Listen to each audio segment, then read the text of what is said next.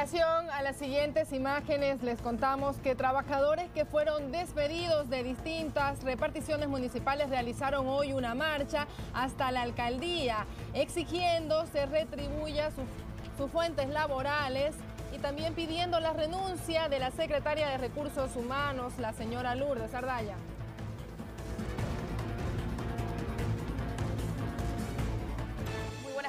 Queridos amigos. Momento de la información. A continuación, nuestros titulares.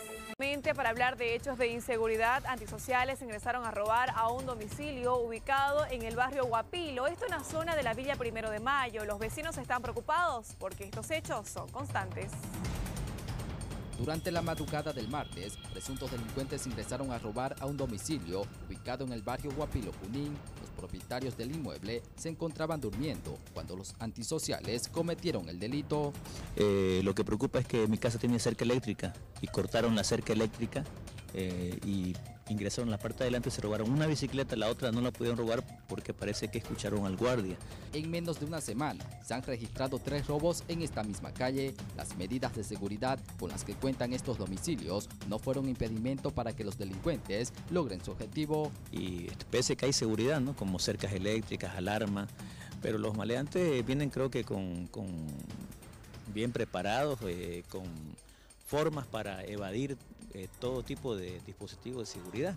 Gracias a Dios no pasó mayores, solamente algo material que se puede reponer, pero este, no intentaron forzar la puerta, no intentaron ingresar por ningún tipo de ventana, gracias a Dios, pero esto, esto puede pasar a cualquier vecino y, lo, lamentable es que puedan entrar y, causar un daño humano, que, lo, que es lo más que, es lo que no se puede reparar. Los vecinos se encuentran preocupados por los constantes robos. Ellos piden más presencia policial en esta zona.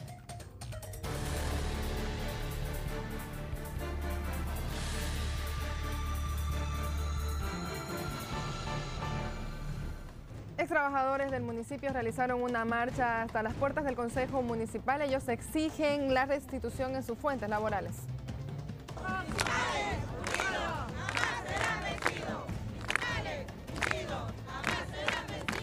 Marcha de trabajadores despedidos primero llegó hasta las puertas de la alcaldía cruceña, donde protestaron exigiendo la renuncia de la doctora Lourdes Ardaya como secretaria de Recursos Humanos. Posteriormente se dirigieron hasta el Consejo Municipal pidiendo ser restituidos en sus cargos, ya que ellos aseguran que su contrato era hasta fin de año y no permitirán que se los despida de manera injustificada. Hay, hay contratos, hay ITN, hay personas, como le he dicho, ah, están votando a personas con discapacidad, a personas embarazadas, este, con cuero, bajo la Ley General del Trabajo, todo ese tipo de personas están retirando hoy día dentro del gobierno municipal. Existe un conflicto colectivo entre los trabajadores y no se puede despedir a ningún trabajador mientras exista este conflicto colectivo. Nosotros lo que exigimos al gobierno municipal es el respeto a la ley general del trabajo, el respeto a la constitución política del Estado y a las normas que amparan al trabajador. ¿no? Son trabajadores de distintas reparticiones los cuales fueron despedidos. Los mismos dieron un plazo al municipio para que dé una solución hasta el próximo lunes. Caso contrario, llevarán a cabo medidas de presión extremas como ser una huelga de hambre indefinida. Entonces estamos hablando de unos 4.000 a 5.000 trabajadores que están siendo suspendidos de su área de trabajo. el motivo de por qué han sido Ninguna explicación, ninguna explicación, solamente que reestructuración, dicen que hay exceso de personal. Exceso de personal, dicen, si los trabajadores de planta somos 3.600. Ahora, ellos han contratado más de 7.000 trabajadores a contrato. Entonces no es culpa de nosotros que ellos se hubieran excedido con los contratos, pero no por eso van a retirar el personal de planta con 20, 30 años de servicio. Asimismo, los trabajadores se dirigieron a la Central Obrera Departamental para manifestarle al Ejecutivo su malestar por la situación y Rolando Borda les brindó su apoyo. Queremos decirles que la Central Obrera Departamental de Santa Cruz, como institución matriz, va a asumir la defensa de ustedes va a hacer respetar va a hacer respetar el derecho al trabajo y queremos manifestar de forma pública que hace más de 15 días venimos solicitando una audiencia para tratar estos temas, pero resulta que están sordos y ha tenido que llegar este momento de abuso, de que los compañeros tengan que ser y las compañeras echadas a la calle. No somos enemigos de nadie. Pero aquí desde la COP Vamos a hacer respetar los derechos de los trabajadores. En caso de que la alcaldía no escuche el pedido de los trabajadores, la COT de Santa Cruz llamará a una asamblea a todos sus sectores afines para definir medidas de presión ante los masivos despidos registrados.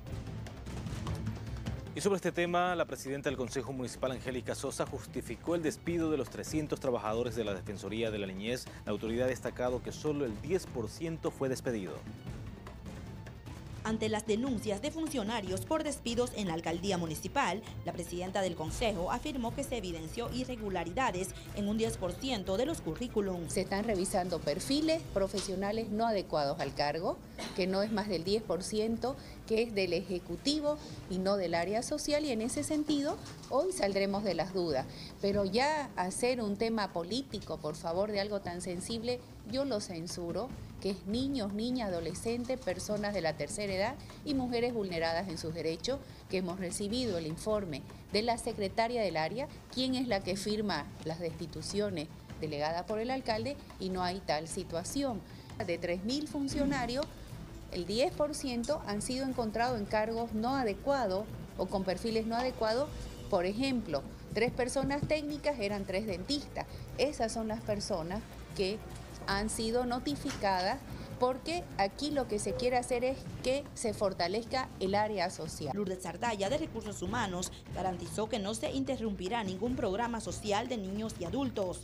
Pero hay que priorizar ese aspecto social frente al costo de personal. Hay perfiles que no están adecuados, hay ausencia laboral a su fuente de trabajo, hay carencia de libreta de servicio militar, hay inexistencia en muchos casos y carencia del título profesional habilitante para el ejercicio del cargo público. Por lo tanto, se garantizan y ayer les dije a ustedes, me comprometo a que van a estar funcionando todos esos programas dependientes de desarrollo humano y así están. Por su lado, el concejal Johnny Fernández ve con preocupación la no atención en 40 guarderías y el despido de 300 funcionarios. Según la información que nos han pasado, en general son casi 300, 300 personas que están ya conmemorando en mano. ¿ya? Y eso es un tema de que obviamente ahora tienen que ellos manifestarnos cuánto afecta a cada una de las áreas que en este momento estamos nosotros revisando. A mí me ha tocado ver este tema de los adultos mayores, los niños, adolescentes y todo lo que son los SLIM y este, las guarderías. Por otro lado, mientras se desarrollaba la sesión del Consejo afuera en parques y jardines, madres de guarderías llegaron y realizaron una protesta. ¿Qué es esto? Esto es una violencia hacia nosotras. De la noche a la mañana llegan memorando de despido 1.500 niños sin tías. ¿Dónde van a quedar esos niños? ¡La tía no se calla!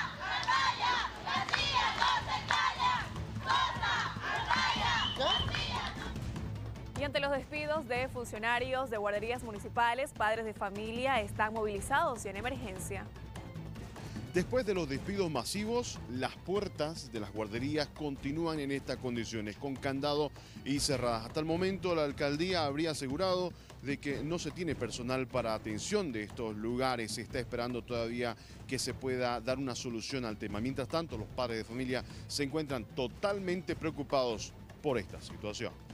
Que piensen los niños, ¿no? Porque ellos son el futuro del país.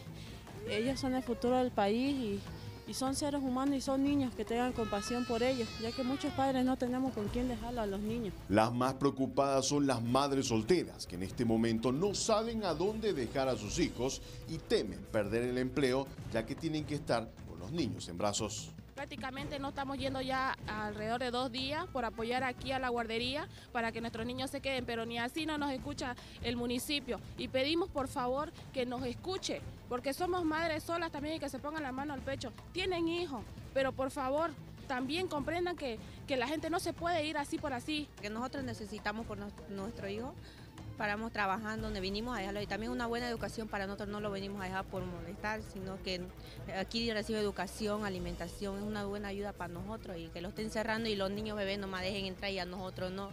En esta guardería específicamente, La Morita, se encuentra trabajando solo una funcionaria quien no pudo ser retirada porque tenía un bebé en brazos.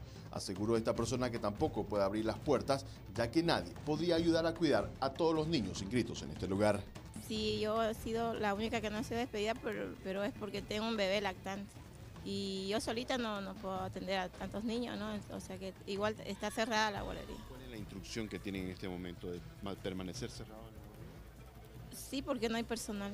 Mis compañeras se han ido a, a manifestarse y ha quedado cerrado porque no hay atención. Hasta el cierre de este reporte, la vigilia de los padres de familia en esta guardería continuaba, al igual que otras guarderías que también se encuentran cerradas.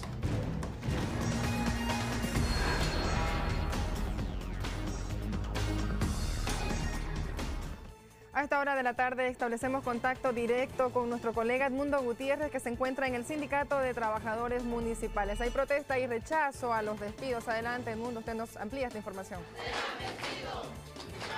Es así, Caterine, luego de una reunión el Sindicato de Trabajadores Municipales de Santa Cruz de la Sierra determinó declararse en emergencia por la situación por la que están atravesando ellos al haber sido despedido de manera masiva a gran parte de los funcionarios. Nos encontramos con la eh, secretaria general justamente del sindicato, la señora Patricia Casanova, que nos va a dar más detalles. Ustedes están en emergencia por la situación. Muy buenas tardes a todos los colegas de la prensa aquí presentes. Gracias por esta entrevista. La verdad que como ven, el tema es el tema de la restitución de los trabajadores que han sido destituidos en masa. Lamentablemente estamos con, este, con esta actitud del Ejecutivo que hasta ahora estamos esperando un acercamiento con ellos para que todos estos trabajadores puedan ser nuevamente reinsertos a sus lugares de trabajo. Este sindicato, ¿cuántos trabajadores han sido despedidos de la alcaldía? Bueno, en general tenemos alrededor de 3.000 trabajadores, hablamos de contrato y eh, hablamos de alrededor de, de 160 trabajadores que están eh, con ítem dentro del municipio. ¿Qué medidas van a tomar ustedes entonces con esta situación? Se han visto despedidos muchos trabajadores. Mira, nosotros primero vamos a agotar toda la instancia para el tema de poder arreglar con el Ejecutivo Municipal todos estos despidos, todo esto, y que se restituya a los trabajadores a su fuente de, de trabajo. En caso contrario de no ser escuchados, ¿qué van a hacer ustedes?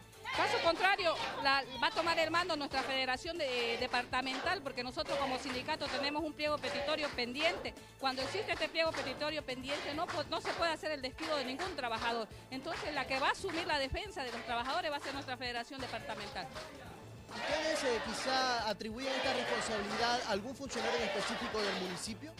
Mira, como es, es aquí manifestación de todos los trabajadores que aquí están acusando a la señora Ardaya del tema del despido masivo que ha habido dentro del municipio. ¿Qué se la acusa? Porque es la directora de recursos humanos y es la que firma, pues aquí no los, los memorandos, la, la gente que tenemos de despido, aquí está la firma de ella, ¿no? En la mayoría de los memorandos de despido. Perfecto, muy bien. Entonces estas son las palabras eh, por parte de la ejecutiva general de este sindicato de trabajadores municipales, Caterina. Ellos están en emergencia y están a la espera de una respuesta por parte del municipio. Caso contrario, tomarán otras medidas. Se podría venir una huelga de hambre, manifestaban ellos a tempranas horas. Así que estaremos a la espera de que se brinde alguna información por parte del municipio. Caterine. Muchísimas gracias, Edmundo. Información completa justamente desde el Sindicato de Trabajadores Municipales. Hasta cualquier otro contacto, nosotros tenemos más para compartir aquí.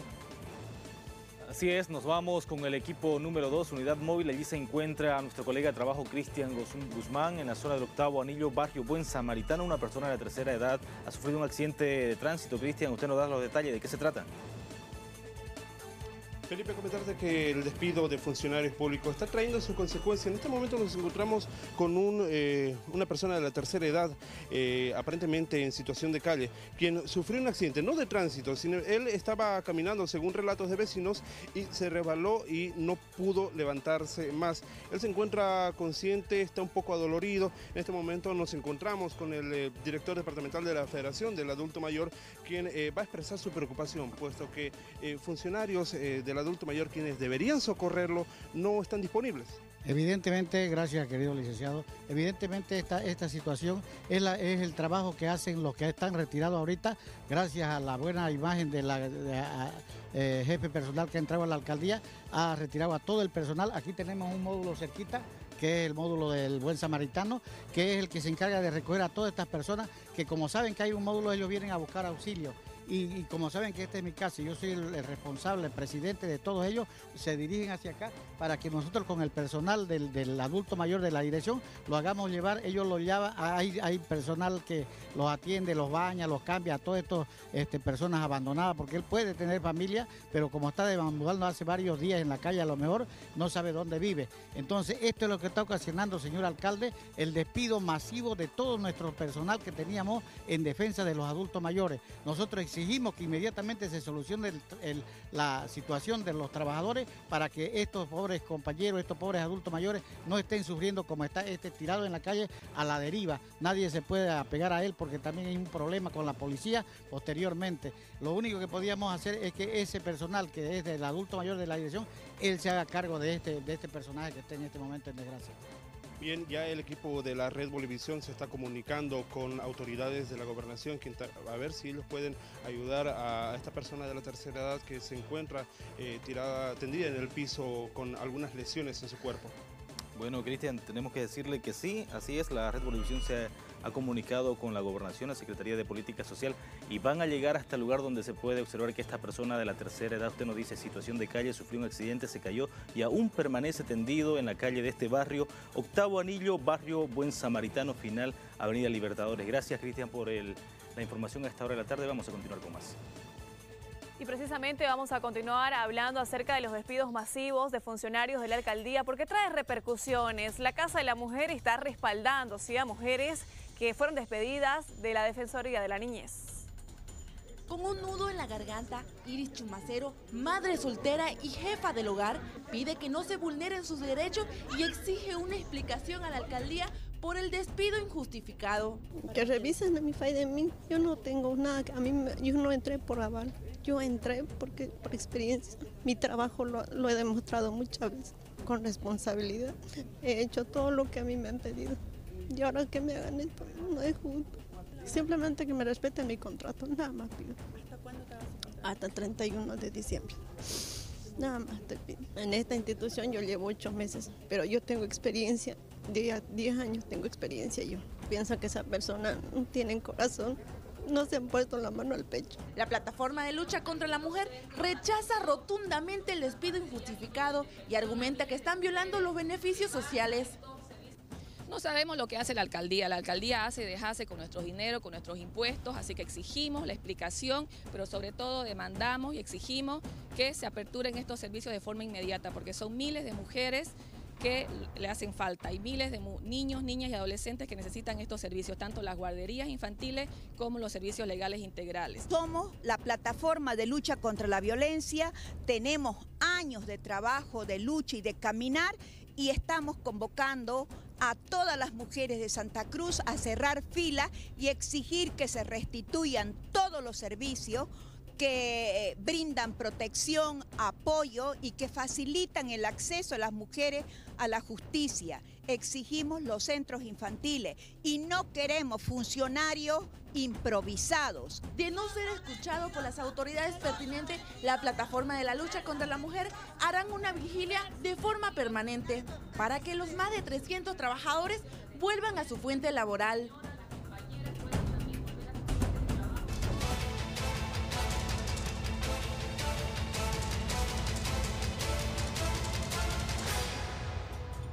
El ciudadano colombiano que era buscado, acusado por varios secuestros a hijos de empresarios, fue extraditado a nuestro país, ha sido cautelado y enviado a Palmasola.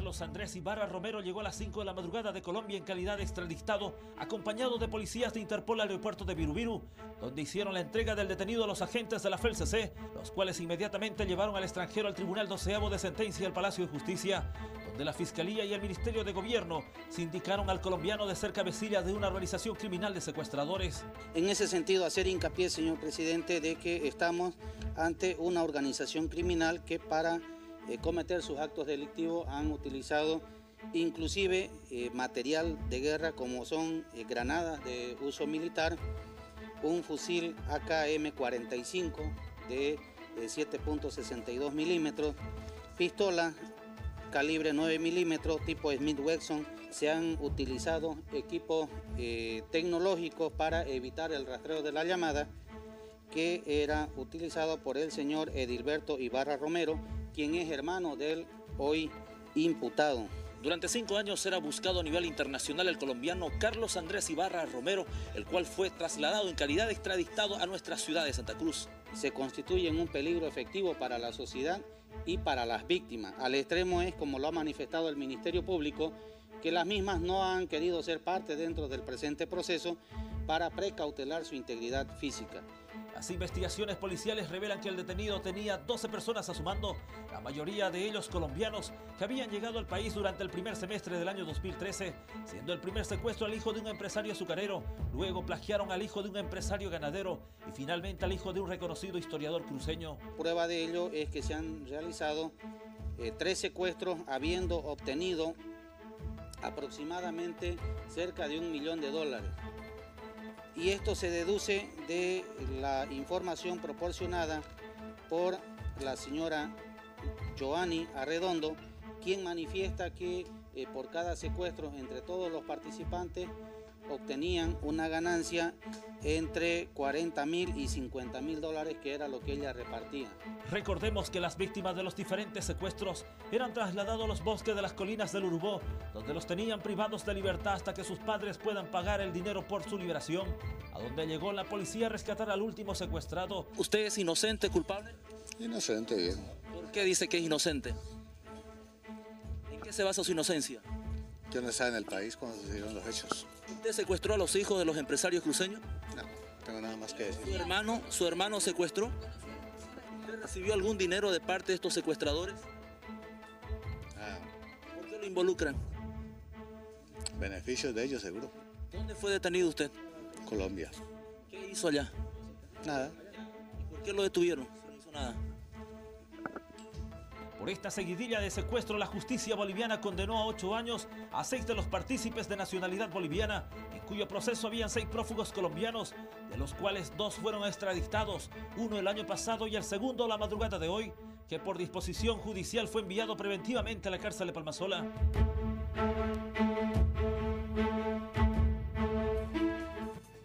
Dos jóvenes fueron aprendidos en la zona de la Villa Primero de Mayo en posesión de colchones que serían robados. La aprehensión de las dos personas quienes fueron encontradas en posesión de tres colchones aparentemente robados fue a raíz de un patrullaje rutinario realizado por la policía de la Villa Primero de Mayo. La actitud sospechosa de los investigados alertó a la policía. Se lo trae acá y lo tenemos aprendido, se lo ha pasado a la FELCC para que ellos realicen el trabajo, lo pongan en conocimiento del Ministerio Público y hagan una investigación minuciosa para ver este, los antecedentes de estas personas. También tenemos que conocer a quién pertenecen los, los colchones que se han recuperado. Y bueno, este trabajo lo hacemos de manera cotidiana todos los días. A la intervención, uno de los implicados se dio a la fuga. Los dos capturados evitaron dar detalles sobre la obtención de los colchones. Sí, son un comportamiento anormal de las personas donde nosotros tenemos que tener mucho cuidado, las personas de bien tenemos que tener mucho cuidado, tenemos que estar siempre atentos y trabajar en manera conjunta con la policía para que nosotros podamos dar respuestas a sus necesidades, a los problemas que tengan y de esta manera sacarlo a esta gente, como le dije anteriormente, de un comportamiento anormal. El caso se encuentra en etapa de investigación. La policía está a la espera de que las víctimas se apersonen para formalizar la denuncia. Reporteros al día, porque tú eres parte de la noticia. Envía tus imágenes al WhatsApp 770-88-444. Nos reportan de un accidente de tránsito que se registró en la carretera Albenia a la altura de La Chonta. El conductor de una camioneta perdió el control y volcó su vehículo. Los heridos fueron trasladados al Hospital Municipal de Guarayos. Vecinos denuncian y envían un video de un incendio que se registró en la zona del kilómetro 9 al norte. Aparentemente las causas fueron quema de basura. Al lugar llegaron bomberos y sofocaron las llamas. Reporteros al día, porque tú eres parte de la noticia. Envía tus imágenes al WhatsApp 770-88-444.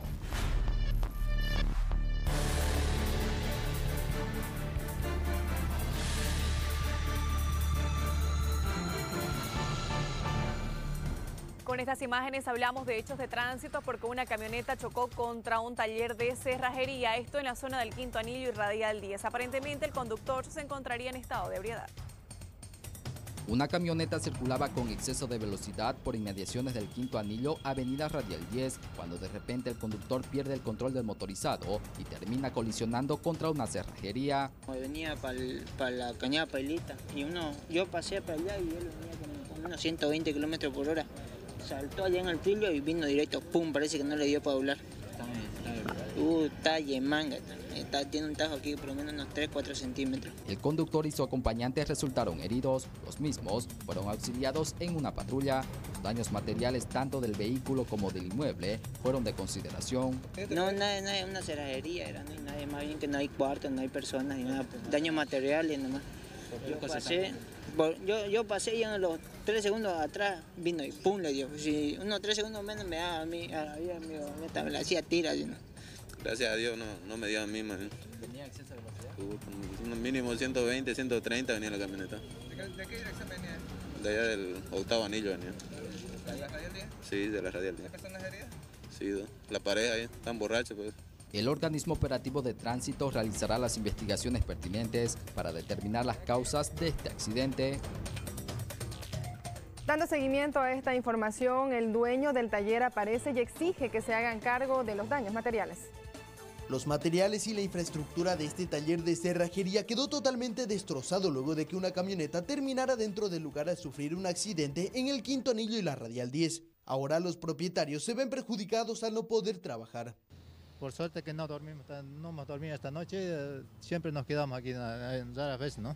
¿Esta vez nadie se quedó? No, no, no se quedó nadie ustedes necesitan ayuda para reponer estas cosas. Exactamente, necesitamos, ¿no? Por, nuestros materiales, con la puerta, aparte ya sería con el dueño, ¿no? Porque nosotros alquilamos. Aproximadamente 2.500 dólares sería el costo de los materiales y herramientas que quedaron inservibles luego de este accidente. No, apestados nos parecemos con las máquinas, ¿no? Máquinas soldadura, máquinas de gomería, soplete, dobladora, el ceciador, estamos afectados. ¿Por valor de cuánto las pérdidas, señor? Por valor, eh, más o menos aproximadamente tenemos este, 2.500 dólares, algo por ahí. ¿Es peligrosa esta zona, señor? Exactamente peligroso es. ¿Mucho corren los vehículos? Ah, sí, por borracho más que todo, pues, por borracho nomás. Eh, después el de sano no, no lo hace nada. El accidente de anoche, ¿qué le han dicho los vecinos? Por borracho nos dijeron, pero ya no pillamos, no, al conductor ya no pillamos, ya se habían, se habían llevado ya. Según el informe de tránsito, el conductor de la camioneta que terminó dentro de este taller estaría conduciendo bajo los efectos del alcohol, por lo que será puesto a disposición de la autoridad competente para que defina su situación jurídica, además del resarcimiento de los daños. En instantes, siguiendo los pasos, la gobernación cruceña deberá presentar un informe sobre el apagón de energía eléctrica en el hospital japonés, lo que habría provocado el fallecimiento de dos personas que se encontraban en terapia intensiva en instantes en Al Día. Autoridades de la gobernación cruceña informan que mediante una auditoría realizada en el hospital japonés por el apagón de energía eléctrica libera de responsabilidad de la muerte de dos pacientes. Luego de la auditoría médica que se realizó en el caso del apagón del hospital japonés, cuando se lamentó el fallecimiento de dos personas hace semanas atrás, el secretario de Salud dio a conocer las conclusiones. Ya tenemos el informe un informe basado en evidencia, basado en las historias clínicas, basado en, la técnica forense que se utiliza en estos casos, y se determina, de acuerdo a la auditoría, que no corresponde el fallecimiento, no tiene relación con el hecho del corte de energía. Eso ratifica lo que dijo en su momento el director del hospital japonés y lo que habíamos manifestado nosotros, ya que comparativamente había más de 30 pacientes que estaban con respiradores y todos sobrevivieron. Es señal de que no hay personal suficiente para darle respiración este, manual, pero sí los equipos tienen un sistema de, de continuidad de funcionamiento propio, autónomo, cuando hay un corte de energía. Sin embargo, un asambleísta del MAS afirma que existe un grado de responsabilidad de los administrativos del hospital. Se ven los administrativos encargados, que aquí no tienen que ver absolutamente nada la estructura de los médicos, que en el momento de hacer el mantenimiento, el gerente, en conocimiento del secretario Oscar Urenda y obviamente del gobernador Rubén Costa, ellos contrataron una empresa para hacer ese supuesto mantenimiento en desconocimiento de la CRE. Entre tanto, la investigación por parte de la Fiscalía aún continúa. Muchas gracias por su compañía. Vamos a contarles ahora que los representantes de las iglesias evangélicas rechazan un proyecto de ley para regular el diezmo en las iglesias. La propuesta hecha por el diputado Sergio Choque de controlar con una ley el diezmo en las iglesias, tanto evangélicas como católicas, despertó malestar sobre todo en los cristianos evangélicos, quienes se pronunciaron de esta manera. Libertad de nuestra fe, libertad de nuestra fe. Nosotros nos sustentamos o trabajamos con los diezmos y con las ofrendas, que sacrificada y voluntariamente lo dan. ¿Por qué digo sacrificada y voluntariamente? porque es un sacrificio dar un aporte por una causa con la cual uno está identificado. Y no le exigimos, no es como los tributos, no son como los impuestos, que si usted no paga le meten multas, le meten accesorios que son intereses y encima se, se, va creciendo, le confisca sus bienes, le cierran su negocio. Nosotros no hacemos nada de todas esas cosas. Queremos pedir por favor a los gobernantes que entiendan este sector pidió al gobierno no solamente evitar el control del diezmo, sino también evitar otros temas, como por ejemplo en el ámbito educativo. Ya se está metiendo en educación, ya se está metiendo con la iglesia, ahora se quieren meter con los diezmos, cuando eso es un tema tan personalísimo de la fe de un ser humano que en gratitud por lo que Dios ha hecho por él, va y lleva ofrendas voluntarias. Yo creo que esto está rayando en la tontera, está rayando en la ignorancia. Yo creo que el gobierno se tiene que detener, tiene que analizar bien las políticas que quiera implementar sobre el tema de educación, familia, iglesia, que son, que son sectores donde él no puede intrometerse. Eso debe quedar bien claro. En los próximos días este sector hará una carta para hacer conocer al presidente Evo Morales su posición con respecto a todo lo señalado. Entre las informaciones, hoy tres personas se presentaron a declarar por el caso de un joven que fue agredido con una manopla durante un evento musical. Los directores funcionales de las investigaciones realizan los trabajos investigativos para dar con el autor de la agresión a un joven de 30 años, quien fue intervenido quirúrgicamente debido a sus lesiones. Tres personas ya prestaron su declaración informativa. Supuestamente hay una persona que ha sido denunciada, pero de acuerdo a los datos que se tienen no había sido esa persona. Todas maneras, el Ministerio Público ha librado la citación para que se presente a, declarar. El día de ayer se ha presentado un señor este, indicando que él estaba o estuvo en el local ese, estaba de polera negra y ha hecho la presentación espontánea. Eh, se le ha fijado para el día de mañana que se presente a declarar, pero este, el Ministerio Público a través del asignado al caso, se ha podido determinar que no fuese esa persona, sino que existiría otra persona. De igual manera, también se lo va a convocar para que vengan a prestar su declaración. Asimismo, se solicitó el desdoblaje del video presentado como prueba para que sea adjuntado en el cuadernillo de investigaciones. Nosotros no podemos dar credibilidad 100% a un video que presenta a cualquier persona. Tenemos que solicitar a través del ICUS, que es el departamento que, nos da la ayuda técnica con relación al desdoblamiento de los videos que nos presentan, que ese este, trabajo es el que tiene eh, que tomar en cuenta el fiscal que va a valorar esa situación. Porque cualquier video que nos presentara no, no tiene la validez necesaria legalmente, ¿no? Entonces tiene que ser a través del organismo que es el ICU, que nos da este, el desdoblamiento, que existe un departamento especial para hacer eso. Por el momento se investiga el delito de lesiones graves y gravísimas. Sin embargo, analizan ampliar las investigaciones a tentativa de homicidio. El fiscal instó a que el autor del golpe se presente voluntariamente a declarar. Hablamos ahora de un hecho de tránsito que se registró en la zona de La Cuchilla. Un conductor en aparente estado de ebriedad chocó su vehículo contra otro. Un accidente de tránsito se registró en el cuarto anillo Avenida Moscú, donde un vehículo que aparentemente circulaba con exceso de velocidad colisionó contra otro motorizado, ocasionando que este impacte contra las bancas del cementerio La Cuchilla. Ah, solo sentí el impacto nomás atrás, o sea, Yo estaba ahí tranquilo cuando venía una velocidad increíble, o sea, yo creí, yo pensé que iba a, a esquivarme, pero cuando sentí el golpe no me y me botó para ese lado. Pero no. Afortunadamente, no hubo personas heridas, solo se registraron daños materiales. No, yo estaba solo. Él sí, cuando yo me bajé del auto, cuando fui a verlo, no, pues no podía ni salir del auto, porque estaba borracho. En las próximas horas, el conductor que ocasionó este accidente podría ser puesto a disposición de un juez cautelar por el delito de conducción peligrosa.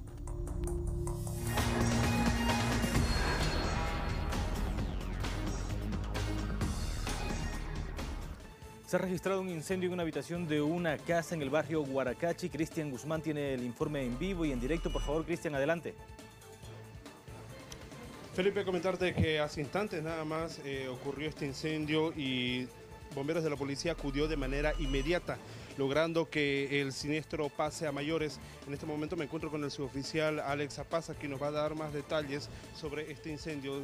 Suboficial, eh, gran parte de la sala fue afectada. Sí, bomberos de la policía acudió a este lugar a atender este tipo de siniestro, ya que sí, como se puede observar, eh, el ambiente ha sido afectado, ha sido consumido por el fuego la mayoría de sus pertenencias, artefactos electrodomésticos y otros eh, prendas de vestir. Bien, las causas de este incendio van a ser investigadas por, peritos especializados. Sin embargo, a vistas preliminares se puede observar que aparentemente las causas que originaron este incendio son fallas eléctricas. En este lugar podemos observar que hay cables que están prácticamente abajo y hay algunos conectores que están eh, dañados. Gran parte de la estructura también se vio afectada. Esta es la información que queremos darle a esta hora del día, Felipe. Muchas gracias, Cristian, por ese reporte. Vamos a hacerle seguimiento, por supuesto, a esta información que se ha generado aquí en la ciudad de Santa Cruz. Vamos a continuar con más.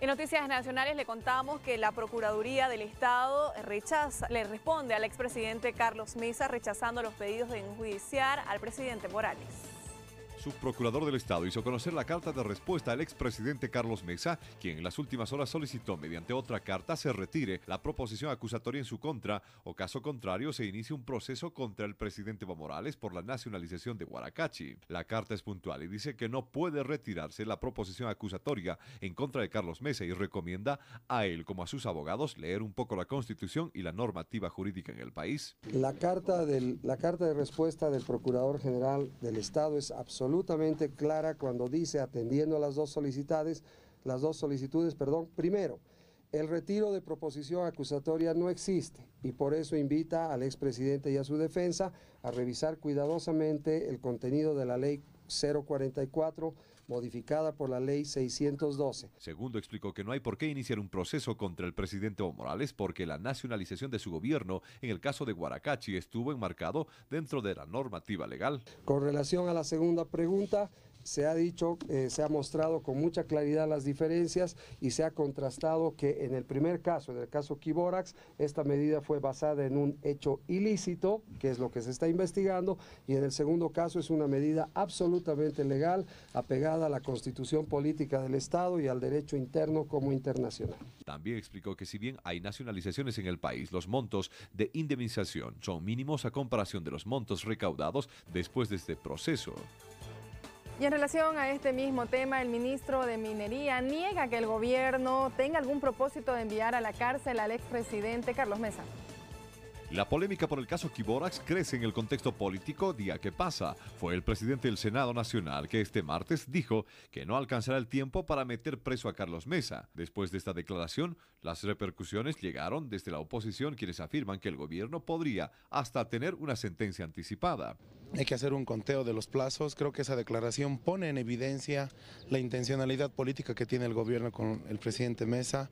Deja en evidencia la sumisión que tiene el órgano judicial con el Ejecutivo desde el gobierno niegan que se pretenda encarcelar a Carlos Mesa y afirman que esa declaración fue meramente simbólica, pero también el ministro anticipó que Carlos Mesa tendrá su jubilación política el próximo año. Pero de ninguna manera para que lleguemos a ese nivel de la encarcelación de su es una es simplemente una forma de pronunciamiento simbólico porque lo que nos están expresando que nosotros queremos ayudar a Carlos Mesa y es completamente falso. Yo les digo personalmente, creo que Carlos Mesa va a jubilarse políticamente en agosto de 2019. Se va a jubilar por dos hechos. Primero, porque va a haber la, resolución de la Haya y creemos que va a ser favorable a nosotros, por lo tanto su vocería va a terminar. Y segundo, hasta agosto del próximo año va a haber la inscripción de candidatos a la presidencia y ningún partido de centro o derecha lo va a invitar de candidato. También causó polémica la publicación de la ex ministra de Comunicación Amanda Dávila, quien afirmó que Carlos Mesa no debería de ir a prisión por expulsar a la mafiosa Kiborax. En el MAS dicen que todos tienen derecho a expresar sus ideas, pero de forma personal. Eh, sí, sin embargo, esas apreciaciones lo tienen que analizar y determinar autoridades creadas por ley como es Fiscalía y Procuraduría. Lo demás son solamente eh, expresiones, versiones que lo puede hacer cualquier eh, persona o cualquier servidor público. Bueno, eso es una postura personal tal vez de la exministra, pero nosotros consideramos que viendo la situación y el contexto y todo, todo lo, cuanto ha acontecido aquello, tendrá que responder. Si no hay nada que esté, tendrá que hacer los descargos y descargos allá en las instancias que corresponde. En la oposición afirman que es la única coherente de la línea del movimiento al socialismo y que esperan que esa opinión no le cueste el cargo actual. Hay alguna gente que, hay alguna gente que sabe que es muy difícil ser incoherente en este caso en particular y lo que hay que hacer es recuperar la cordura. Todo el mundo sabe que esta banda de piratas denominada Kiborax ha falseado una serie de documentos, ha fraguado y estafado al Estado boliviano. Hacerle un juicio a un expresidente por recuperar una concesión de los recursos naturales más importantes que tiene el país, ¿es lógico? Por supuesto que no. Eh, comparto su opinión y ojalá eso no le cueste el cargo. Con la información rápidamente para volver hasta Santa Cruz y contarles que los bomberos de la policía están preocupados porque aumentan los incendios y solo un camión cisterna funciona.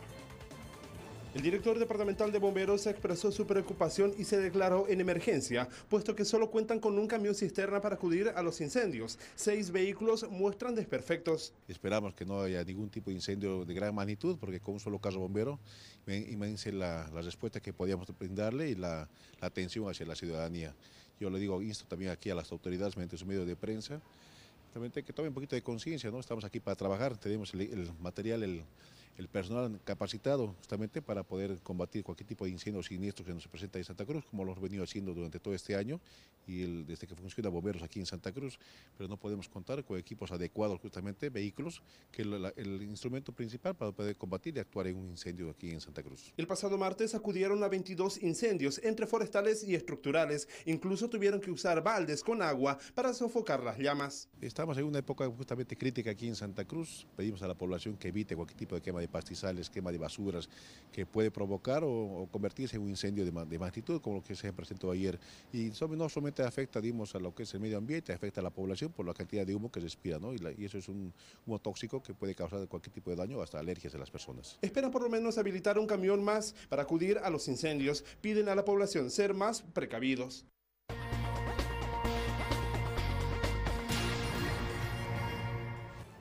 Seguimos hablando de incendios. En Tarija se registró uno de gran magnitud en una tienda comercial.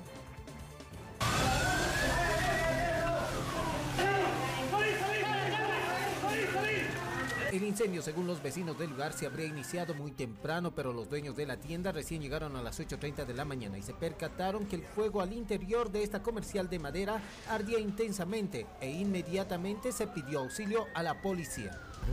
A esa ya comenzó por esta parte de atrás, ya empezó todo esto. Los que estaban asentados aquí en esta, casuchita que se, que se han venido a meter ahí, y allá parece que han hecho fuego. Ahí están las, Ahora puede ser por causa de eso o algún corte. La desesperación de los dueños y trabajadores se apoderó del momento quienes comenzaron a romper las puertas de cristal de este establecimiento para poder rescatar parte de la mercadería que se consumía al interior, mientras por otro lado la fuerza policial trabajaba intensamente para poder sofocar el incendio.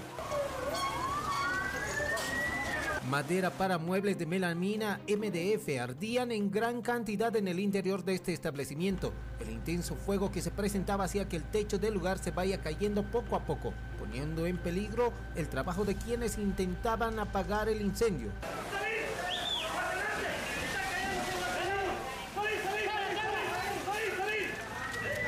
Según los administradores del lugar, no se tiene cuantificadas las pérdidas que causó este incendio, como también se desconoce de cómo se habría iniciado.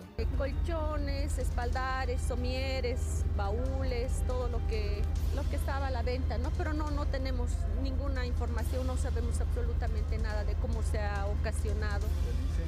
No, nada, nada. nada. qué es lo que se ha perdido? No sabemos nada, nada. Por su parte, el subcomandante de la policía, Luis Jerez, informó que desde las 8 de la mañana se trabajó intensamente con un contingente policial de 150 efectivos y bomberos para poder sofocar este incendio. Y llevamos trabajando hasta este momento tratando de mitigar y controlar el incendio. Entonces, Em, no podemos hacer ningún tipo de evaluación porque hasta el momento eh, no hemos podido controlar todavía, estamos en, esa etapa. Esperamos después de que se haya controlado, se haya hecho el enfriamiento correspondiente, recién trabajarán los técnicos de bomberos para poder determinar cuáles hubieran sido las causas. Se ha indicado una vez que se termine con los trabajos de sofocación, se iniciará con la investigación de cómo se habría iniciado el incendio al interior de este establecimiento.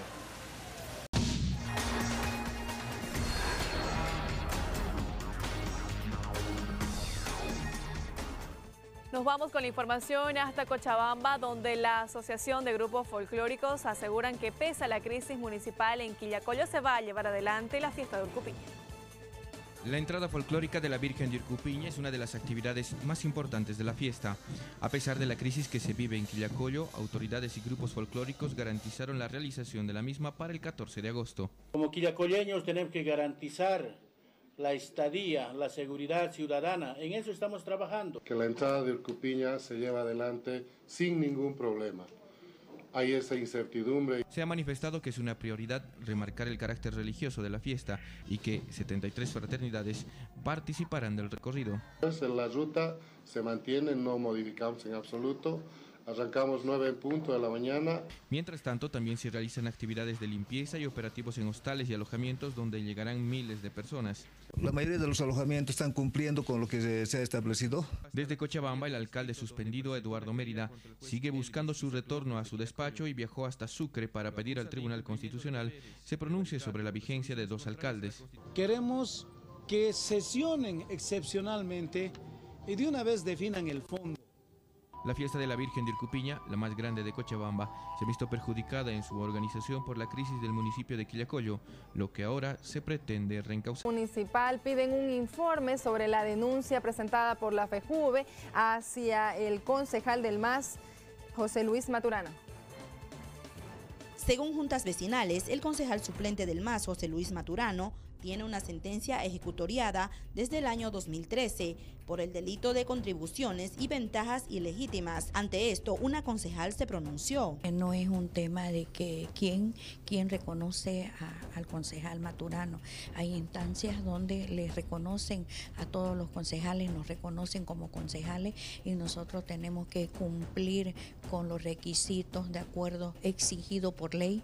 Creo de que eso va más allá, eh, entonces esperemos que también la Corte seguramente a través de la comisión se va a pedir un informe del informe correspondiente porque él ha sido elegido por el voto del pueblo. Hoy día ha sido una sorpresa para todos los concejales. De la misma forma, la presidenta del Consejo, Angélica Sosa, dijo que se aguardará el informe del Tribunal Electoral Departamental. El Pleno lo tomó conocimiento y pasó conforme a ley a la Comisión de Constitución. La Comisión procederá conforme a norma cuando se trata de un procedimiento donde hay una instancia competente que es el órgano electoral y departamental quien deberá a la comisión complementar esta información. Hemos procedido conforme a norma. Este hecho sale a la luz luego de las manifestaciones que ha realizado la FEJUVE exigiendo la destitución de la autoridad. La plataforma Bolivia dijo no pide garantías para poder protestar el próximo 6 de agosto. Entre tanto, movimientos juveniles del MAS critican las acciones de la oposición.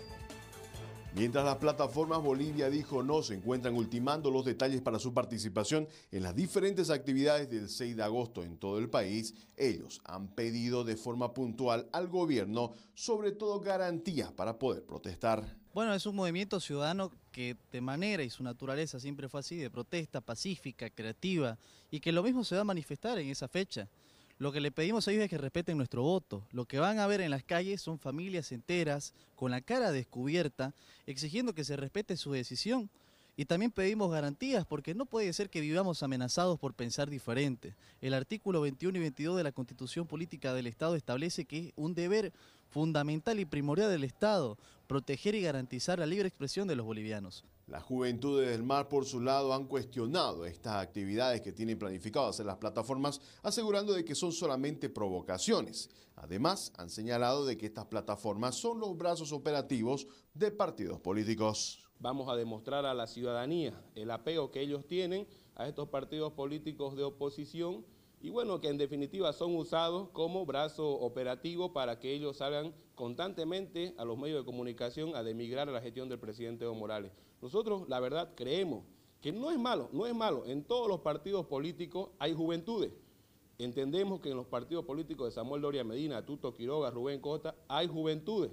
Pero lo malo que en e, estos jóvenes se están haciendo pasar como si no tuvieran afinidad política o apego político en respuesta a ello, las plataformas también esto respondieron. El grito Bolivia dije no, dijo no se va a escuchar en todo el país y ya tienen que acostumbrarse, porque si olvidaron y se siguen olvidando de su pueblo, que gracias a ellos están ahí, el pueblo se los va a recordar. Las juventudes del MAS han señalado de que ellos van a participar en todas las actividades del desfile cívico, asegurando de que van a apoyar en la repostulación del presidente Evo Morales.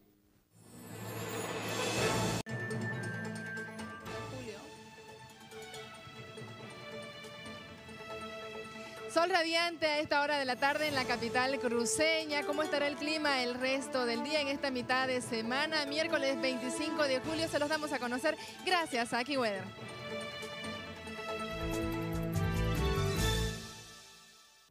Desde el Centro de Comunicaciones de AccuWeather les saluda Marvin Gómez con las condiciones del tiempo para Bolivia, exclusivamente aquí para nuestros amigos de Bolivisión y para este miércoles. Déjeme decirle que esperamos ver temperaturas calurosas llegando cerca de los 27 grados hacia el norte para Trinidad, Cochabamba con 25, 11 para Potosí, Tarija con 18 grados. Ese sol esplendoroso estará con nosotros a lo largo de todo el país. Ese sistema de alta presión nos sigue dejando con tiempo estable en toda la zona. Santa Cruz con 23 grados, Oruro únicamente llegando a los 13, 18 para Sucre, Puerto Suárez en 23 grados también. Hacia el norte esas temperaturas estarían alcanzando los 40 grados en Cobija. Vemos La Paz llegando a los 12 grados, Valle Grande 18, San Ignacio 27 para ustedes. Así es que un día espectacular en esa región. Aquí tienen el pronóstico detallado para La Paz en horas del día. La máxima llega a los 12 grados ya para la noche. 3 grados bajo cero esa temperatura, esos vientos soplando alrededor de los 11 kilómetros por hora. Mientras tanto, en Cochabamba pasamos de condiciones agradables y temperaturas en 25 durante el día a pocas nubes durante la noche, el mercurio cerca de los 6 grados. En el pronóstico extendido para Santa Cruz, Aquí tienen ustedes ese sol radiante, se queda con nosotros, tiempo favorable para hacer actividades al aire libre, eso sí, bastante sol para nuestra zona.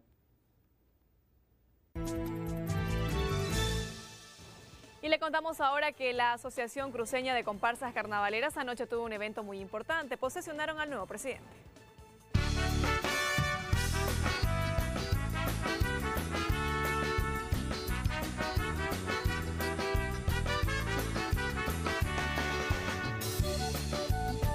Oficialmente fue posesionado Carlos Arrien como presidente reelecto a la presidencia de la ACCC junto a su directorio.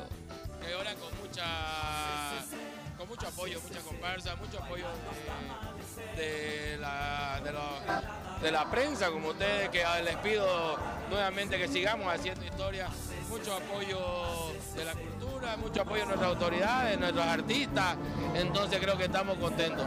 Para la gestión 2019 pretende integrar aún más a las comparsas para poder dar una buena imagen al carnaval cruceño. Venimos con un corazón carnavalero, con una, con una mística que es lo que vamos a, a tener en este carnaval y creo que vamos a seguir haciendo las cosas bien. A este evento asistieron autoridades políticas de la gobernación y de la alcaldía municipal. Nos volvemos a reencontrar esta noche a las 20 horas con 30 minutos. Gracias por su compañía. Continúe con nuestra programación. Buenas tardes, permiso.